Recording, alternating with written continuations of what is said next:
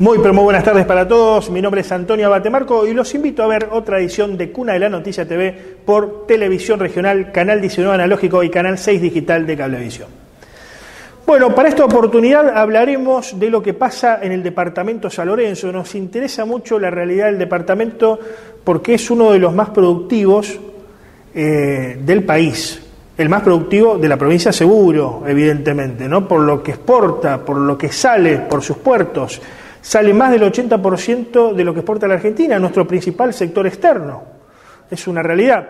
Eh, obviamente está relacionado al agro, agro y derivados del agro, y hasta tanto active vaca muerta, e inclusive luego de la activación de vaca muerta y de sus dividendos, va a seguir siendo un lugar muy importante para la Argentina, el departamento San. En este sentido, decidimos hablar con dos referentes políticos del mismo, ambos con una larga trayectoria.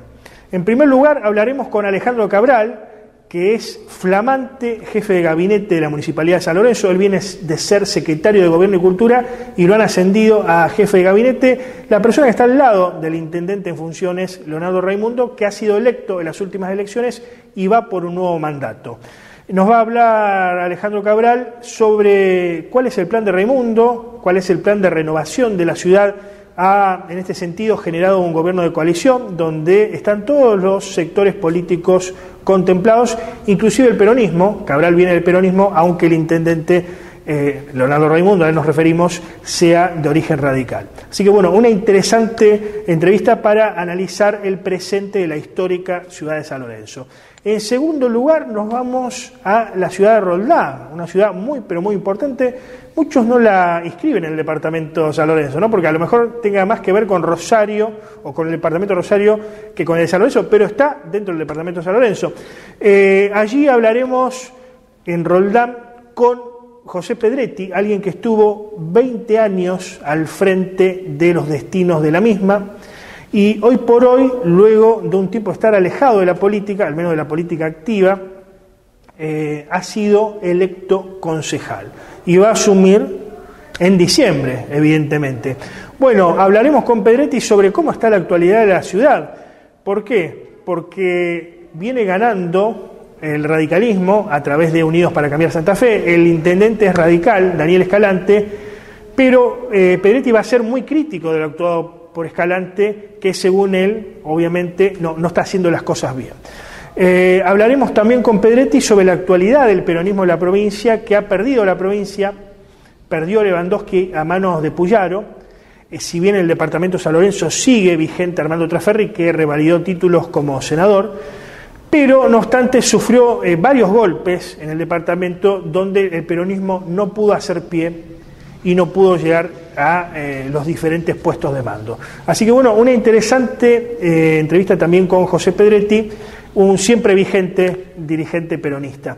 Ya cuando el señor director quiera, vamos a los auspiciantes y regresamos con el primero de los diálogos. Noticia.com, donde nace la información, siempre junto a vos, contándote lo que pasa en Rosario y la región noticia.com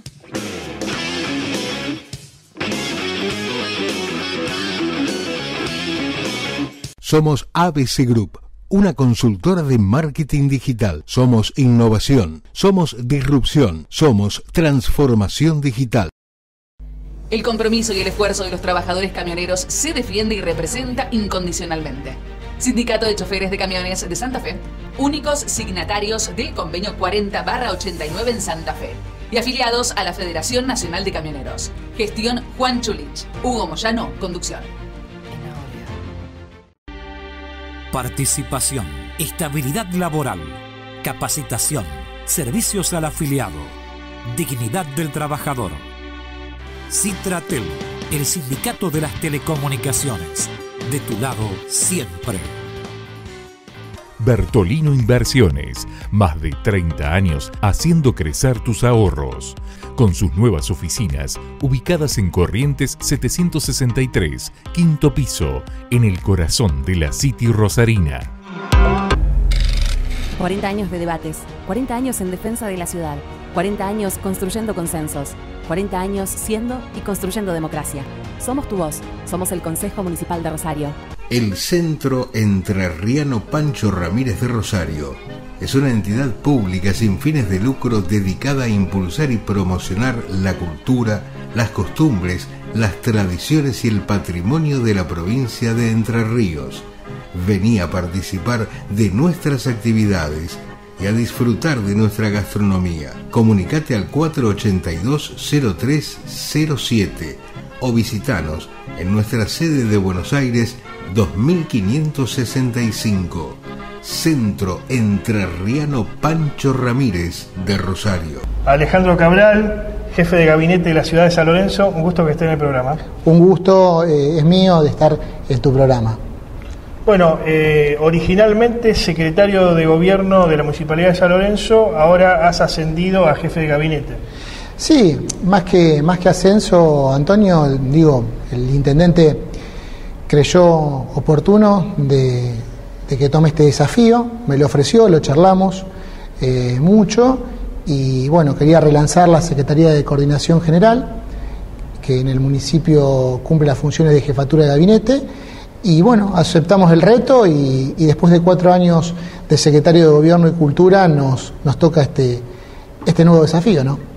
Es un lugar muy importante. Acá Rosario quizá no lo conocemos de esa forma porque no se le da demasiada importancia, ¿no? Pero es el que está al lado del intendente. Sí, a ver, las funciones del, secretario de coordinación, en algunos otros lugares se llama también secretario coordinador, tiene que ver con, con llevar adelante una tarea eminentemente política no solamente con, las actividades, con la agenda oficial del intendente, pero es el, digamos, el, secretario cabecera del jefe de gobierno y bueno, uno tiene que nutrirse de conocimiento de todas las secretarías. En el caso de San Lorenzo tenemos Secretaría de Obras y Servicios Públicos, Secretaría de Gobierno y Cultura, Secretaría de Hacienda, Secretaría de mm, Desarrollo Social, Secretaría de Salud y Medio Ambiente. Por lo tanto, eh, hay que dedicarle mucho tiempo a, la Secretaría de, Coordinación, que como te decía, suple las funciones de jefatura de gabinete, y en el caso particular de San Lorenzo además tiene ciertas particularidades. Eh, lleva adelante el plan estratégico de la ciudad, el presupuesto participativo, que es una herramienta ciudadana muy importante en estos tiempos, en donde la gente, el vecino de San Lorenzo discute en dónde quiere que se gaste la plata del presupuesto municipal, y el presupuesto participativo joven, que lo discuten en todos los establecimientos educativos a través de los centros de estudiantes. Así que tenemos unas funciones realmente muy, muy importantes. Estoy conociendo el equipo porque hace algunos días que he asumido esta nueva función, un equipo, muchos politólogos jóvenes, muchos eh, así que lo estoy conociendo y bueno, de alguna manera cada uno le marca la impronta a la, Secretaría, como en su momento me tocó marcar mi propia impronta a la Secretaría de Gobierno y, Raimundo, digamos, el intendente Leonardo Raimundo abrió el juego, digamos, ¿no? en, esta parte eh, para lo que viene ahora, integrando gente incluso que antes se había ido de la gestión, bueno, ahora forma parte de, un gran armado. Sí, eh, efectivamente, se, se confirma y se consolida lo que tiene que ver con la pluralidad. Pero bien lo que vos marcabas, quiere llevar adelante cuatro años históricos, ese es el cardinal que nos ha marcado el intendente Leonardo Raimundo. Quieren que, bueno, de alguna manera estos años eh, sean recordados para siempre por, por los sanlorencinos y en función de eso llevó adelante distintas reformas y modificaciones en el gabinete. Solamente del gabinete que lo acompañamos estos últimos cuatro años quedamos solamente tres secretarios eh, y otros tres ya han sido desafectados del, gabinete municipal.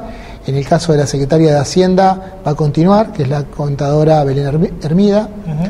La secretaria de Gobierno y Cultura eh, es quien se desempeñaba como secretaria de Desarrollo Social hasta hace unos, días atrás.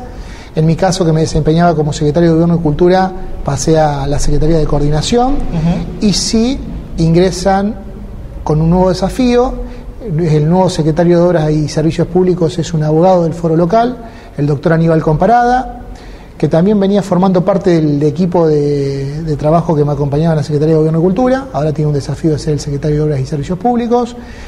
El secretario de Salud y Medio Ambiente es el doctor Nicolás Beltramone, que se desempeñó mucho tiempo como director del Hospital Provincial Granaderos a Caballo, tiene un, un- un gran antecedente en, en la incursión de la salud pública.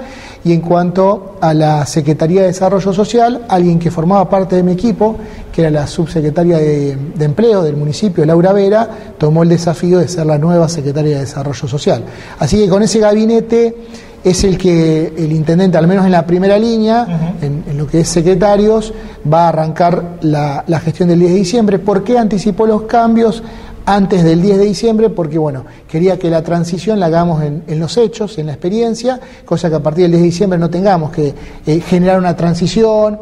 Vienen después dos o tres meses que enero y febrero son dos meses de receso, así que prefirió adelantarlo los cambios, cosa que a partir del 10 de diciembre se pone primera directamente. Eh, vos provenís del peronismo, si bien hoy hay un gobierno de coalición en San Lorenzo, no, no le fue bien al peronismo en la provincia, digamos, de hecho la, la perdió. Si bien ahí en San Lorenzo eh, continúa el senador Traferri, ¿qué- cu- ¿cuál debe ser el rol del peronismo a nivel provincial? ¿Debe ser un peronismo de oposición? ¿Debe ser un pero- eh, de posición a ultranza o peronismo de diálogo, de consenso? Mira, yo creo que... También pensando que a nivel nacional puede llegar a ganar el peronismo con masa, ¿no? Sí, creo que también el resultado de- del balotaje eh, es un, un resultado que de alguna manera eh, va a marcar la impronta de- del próximo gobierno. Una cosa es si gana Massa el 20 de noviembre y otra cosa si gana Milei.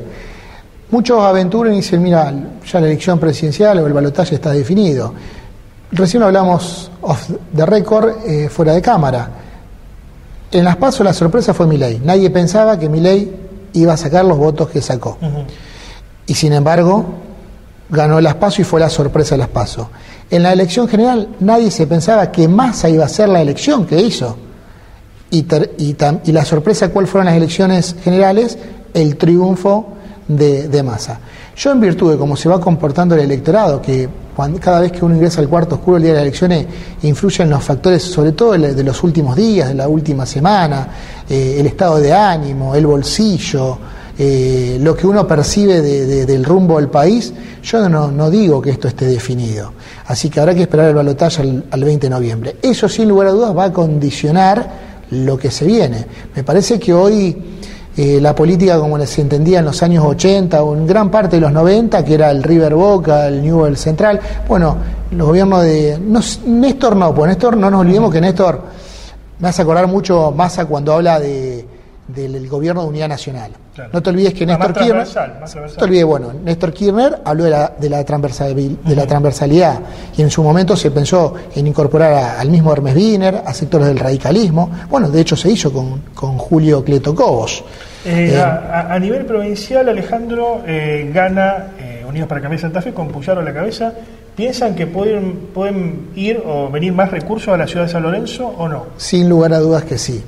Sin lugar a dudas que sí. Nosotros ¿Se prometió eso? Hay una promesa, lo ha hablado el intendente, eh, yo he participado incluso en algunas de las reuniones eh, de, de Leonardo Raimundo, que es nuestro intendente, con Maxi Puyaro. Hay un fuerte compromiso, al menos también en, en dos cuestiones principales que ya de hecho los equipos de Maxi Puyaro y los equipos del gobierno de Leo Raimundo vienen trabajando, de los cuales en algunos participo yo. Uno es en el gabinete de seguridad y otro es en materia de salud. Así que son dos temas, dos déficits que en la gestión Perotti dejaron mucho que desear. Nosotros nos cansamos de mandar cartas, notas, de reunirnos con función en la provincia y sinceramente ¿Se sintieron abandonados? nos sentimos abandona- abandonados. Yo creo que por ahí una, la relación ríspida que, que se originó al menos los primeros dos años y medio entre Omar Perotti y el senador Armando Traferri eh, sirvió para condicionar que el, que el gobernador de alguna manera eh, limitara, pusiera... En la volteada ustedes. Exactamente. Entonces le hizo mal esa pelea y, y no le hizo, le hizo mal en definitiva que le haga mal a los dirigentes, un problema a los dirigentes. Los dirigentes se tienen que hacer cargo cada uno de, de Sí, sus pero actos. termine pagando el pato como se dice yo creo que pagó el pato la gente, entonces tuvimos un hospital totalmente desmadrado, la, la la inseguridad creció muchísimo por falta de recursos a, a la unidad regional 17 y bueno, hoy, hoy existe un compromiso fuerte de Maxi con Leo de que el 10 de diciembre vamos a tener un fuerte acompañamiento de la provincia, así que sin lugar a dudas estamos muy esperanzados en, en el 10 de diciembre. Bien. Alejandro Cabral, muchas gracias. No, gracias a vos. Allí transcurría la primera de las entrevistas. Ahora vamos a un corte en Cuna de la Noticia TV. Vendemos y regresamos. Cunadela donde nace la información, siempre junto a vos, contándote lo que pasa en Rosario y la región. Cunadelanoticia.com.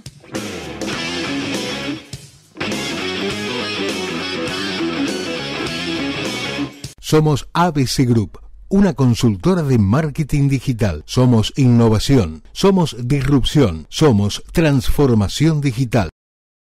El compromiso y el esfuerzo de los trabajadores camioneros se defiende y representa incondicionalmente. Sindicato de Choferes de Camiones de Santa Fe, únicos signatarios del convenio 40-89 en Santa Fe y afiliados a la Federación Nacional de Camioneros. Gestión Juan Chulich, Hugo Moyano, conducción. Participación, estabilidad laboral, capacitación, servicios al afiliado, dignidad del trabajador. Citratel, el sindicato de las telecomunicaciones. De tu lado siempre. Bertolino Inversiones, más de 30 años haciendo crecer tus ahorros. Con sus nuevas oficinas, ubicadas en Corrientes 763, quinto piso, en el corazón de la City Rosarina. El Centro Entrerriano Pancho Ramírez de Rosario es una entidad pública sin fines de lucro dedicada a impulsar y promocionar la cultura, las costumbres, las tradiciones y el patrimonio de la provincia de Entre Ríos. Vení a participar de nuestras actividades y a disfrutar de nuestra gastronomía. Comunicate al 482-0307 o visitanos en nuestra sede de Buenos Aires 2565. Centro Entrerriano Pancho Ramírez de Rosario. 40 años de debates, 40 años en defensa de la ciudad, 40 años construyendo consensos, 40 años siendo y construyendo democracia. Somos tu voz, somos el Consejo Municipal de Rosario. Volvemos del espacio publicitario aquí en Cuna de la Noticia TV, grabando como siempre desde las instalaciones del Centro Entrerriano Francisco Pancho Ramírez de la ciudad de Rosario. ¿Qué es el Centro Terreno Francisco Pancho Ramírez? Es el lugar por excelencia de la difusión de la cultura y las tradiciones de la hermana provincia de Entre Ríos. Tiene múltiples actividades que podés venir a disfrutar solo o en familia y también una excelente gastronomía. Centro Terreno Francisco Pancho Ramírez, Buenos Aires 2565 de la ciudad de Rosario. Bueno, ahora en este segundo bloque vamos a hablar de lo que está pasando en la ciudad de Roldán con José Pedretti. José Pedretti, ex intendente de la ciudad de Roldán y actual concejal electo de la misma. Un gusto que esté en el programa. No, el gusto es mío y gracias por la, por la invitación. Bueno, volvés al redil de la política, digamos. Eh, ¿A algunos les sorprendió esto en, Roldán? Eh, ¿Cuál, ¿Cuál es la intención? Eh, ¿qué, ¿Qué propósito tenés en el buen sentido? En realidad nunca me fui, siempre estuve, aunque después de haber perdido la intendencia, seguí trabajando y colaborando con todo el grupo de, concejales nuestros. Vuelvo en realidad porque un grupo de jóvenes nos fue, me, fue a buscar, por decirlo de alguna manera, y bueno, uno que, nació con esto de la política desde muy chiquito, lo siente, ve que puede seguir aportando cosas y acá estamos, ¿no? Eh, nos fue muy bien, la verdad que después de, de dos años de habernos, un año y medio, intentado gastar la imagen, el deterioro mío, de mi familia, habiéndose metido con todo lo que pudimos haber dejado en orden. Eh, por parte del actual intendente. por parte del actual intendente, sí, por supuesto, Daniel Escalante. Creo que, eso fue, hizo que, que se ponga en valor y bueno, creo que la gente puso número a los supuestos, a las situaciones. Y bueno, hoy empieza otra realidad, una nueva etapa en la cual uno ha visto o ve, mejor dicho, eh, situaciones que puede mejorar y que puede aportar eh, el haber mirado de afuera todos dos años, estuve dos años prácticamente sin hablar hasta que fui candidato, dejé que trabajaran tranquilos, no me metí en ninguna crítica de ningún tema, ni aún en la autodefensa de mi nombre, porque uno sabe que no tiene que defender lo que no tiene que defender, las cosas se decantan y quedan por su naturaleza, y esto lo digo con mucha humildad y no con un tinte de soberbia, ¿no? Y, y creo que, bueno, la gente en la interna fuimos los más votados, después en la general, bueno, en la alianza eh, de, los seis candidatos que llevaban ellos sumados, eh, hubo una diferencia. ¿no? Estuviste varios periodos al frente de la ciudad, viviste todo el proceso de avance de la misma, del lugar de fin de semana a una ciudad donde ir a vivir en el día a día. Eh, ¿Se transformó en una ciudad antiperonista, Roland? No. En algún momento fue peronistoide, digamos. No, mira, Roland tiene dos tipos de, de votantes. El histórico de, de lo que podríamos decir del casco urbano y de lo que se fue incorporando hace 20 años atrás. Y después tiene el voto de los nuevos barrios, que no todos votan, porque muchos conservan eh, el domicilio fuera de la ciudad por cuestiones que tienen que ver de Rosario, colegios profesionales, taxis, eh, colegios de los chicos de la escuela, una serie de, de argumentación. Eh, no, creo que que tiene un perfil de acuerdo a lo, a lo que va pasando. No, no, yo no creo que haya sido ni anti ni, ni ante nada. Creo que las la, propuestas han sido. Yo perduré 20 años con un crecimiento de. Nosotros pasamos de 10.500 habitantes en el 2001, hoy a casi 35.000. Hoy Roldán está estructuralmente la ciudad más grande del departamento, pisando los 25.000 catastros. Y poblacionalmente es casi la segunda, está a mil votos de lo que es Capitán Bermúdez. ¿no? Eh, hay un voto más de clase media, digamos, entre comillas, en Roldán, eh, y no peronista, porque esto se está viendo en todo el departamento de San Lorenzo, de alguna manera, donde revalidaron eh, títulos aquellos eh, intendentes o jefes comunales no peronistas y en lugares donde perdió el peronismo. No sé dónde perdió, porque creo que, que las dos ciudades que yo conozco que iban a elecciones, que fue Capitán Bermúdez y Carcarañán, ganaron. Eh, se perdió Ricardone. Después el resto creo que quedó igual. No, digo, lugares donde eh, en algún momento fue eh, gobierno del peronismo, pero hoy no. Puede ser, pero también hay que ver el desgaste que venían cada uno, ¿no? Porque Timbúes, por ejemplo, ¿no? entre otros. está bien, pero Timbú estaba gobernando el radicalismo. Eh, Fito va por. y bueno, le fue muy bien en la interna y no pudo eh, alcanzar la, la comuna, pero este, venía gobernando de estos últimos dos años el, el Frente Progresista, o no sé cómo se llaman ahora, ¿no? Yo creo que tiene que ver con, con la cercanía, pues yo te puedo poner al revés. Caso de Funes, donde el Rolly estuvo al lado de la gente, caso de Pablo Corsalini, donde Pablo estuvo al lado de la gente, o el propio Alberto Ricci, ganaron ampliamente. Yo creo que tiene que ver mucho desde dónde te parás, de la cercanía que tenés con la gente y del oído finito que tenés en la atención de los problemas de la gente.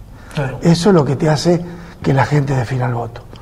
Eh, después el resto pueden ser cuestiones puntuales de cada ciudad, de cada comunidad, de lo que arrastraron de la pandemia, de la economía, muchas cuestiones, pero creo que el que estuvo al lado de la gente, no importa el partido que sea, ganó.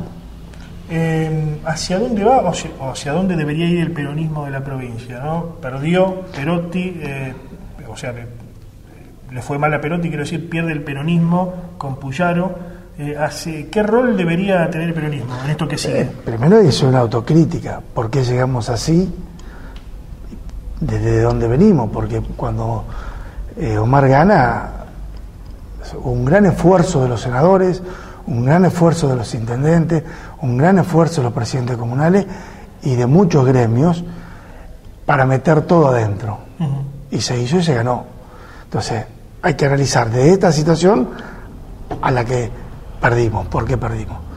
Y en algunas situaciones vas a tener nombre y apellido Omar Perotti, puntualmente, ¿no? Después otras cuestiones. Ahora, creo que lo primero que hacer es una autocrítica para adentro y después yo soy amigo de Omar, ¿eh? pero esto no quita que, que tenga que decirle lo que tenga que decirle, ¿no? Eh, y si esa autocrítica no se hace con profundidad, si esa autocrítica no se hace con, con atacando y diciendo los problemas que el peronismo tuvo, bueno, creo que no serviría. Y creo que también hoy se abren pasos solos un montón de dirigentes jóvenes, nuevos, como te puedo decir Rolly, Santa Croce, Pablo Corsalini y algunos más del norte, presidentes comunales, que empujaron y bueno, a ellos les fue muy bien, entonces necesitan un espacio, ¿no? Creo que el partido no tuvo el- un presidente a la altura de las circunstancias y de los problemas que vivimos durante los cuatro años de gestión. Y bueno, creo que todas estas cosas pesan y hacen que el peronismo haya pasado por lo que pasó, ¿no? Y no hay que quitarle mérito al gobernador electo, ¿no? Porque indudablemente, independientemente de que a mí me pueda gustar o no desde lo político, viene sembrando hace más de dos años y eso tiene su cosecha. ¿Vas a ir por la Intendencia dentro de dos años? No sé, yo por ahora lo que voy es asumir el día de diciembre, tratar de buscar diálogo profundo, serio, genuino, que le cambie la realidad a los rodanenses con el actual intendente y con el bloque nuestro. Y en la marcha iremos viendo... Eh, a mí me ha pasado algo muy importante, a mí se me han sumado muchos jóvenes, se me han sumado muchos jóvenes, jóvenes profesionales, jóvenes no profesionales, jóvenes de gremio, jóvenes que tienen que ver con la, con la educación y que esto es un, para el peronismo es muy bueno, ¿no? Porque es como un recambio. Nosotros estamos más para aportar toda la experiencia que tenemos. No te olvides que yo arranco desde el 83 y en el 73 era cuando vuelve Perón, era un, era un Benjamín que me llevaban a pintar tapiales, ¿no? Tiene una historia y eso es bueno transmitírsela, contársela eh, para que los jóvenes puedan hacer su propia experiencia. Y que se equivoquen como nos equivocamos nosotros, que se equivocaron todos los dirigentes que pasaron por la Intendencia, por la Comuna, por la Senaduría, por, por distintos lugares. ¿no? José Pedretti, muchas gracias. No, gracias a vos. Nos vamos, llegamos al final de otro programa de Cuna de la Noticia TV, un interesante programa este en el que nos permitimos reflexionar sobre uno de los departamentos más productivos del país, como es el departamento San Lorenzo. Esperemos que Maximiliano Puyaro, el ganador de las elecciones generales en la provincia de Santa Fe, pueda corregir los errores del saliente y perdidoso Omar Perotti y que todos los lugares puedan ser contenidos camino a la realización. Eh, hay mm, sitios de la provincia, hay localidades que están mejor, otras que están peor, intendencias que están mejor, otras que están peor, pero deberá, deberá Puyaro acompasar el desarrollo de tal forma que todas y todos puedan ser contenidos. Bueno, eh, recuerden que las entrevistas que hacemos en este programa pueden verlas reproducidas asimismo luego en nuestro sitio web, cunadelanoticia.com, nuestro canal de YouTube y nuestras redes sociales. Nos vamos, nos reencontramos el próximo viernes a las 19 horas. Tengan ustedes una buena semana.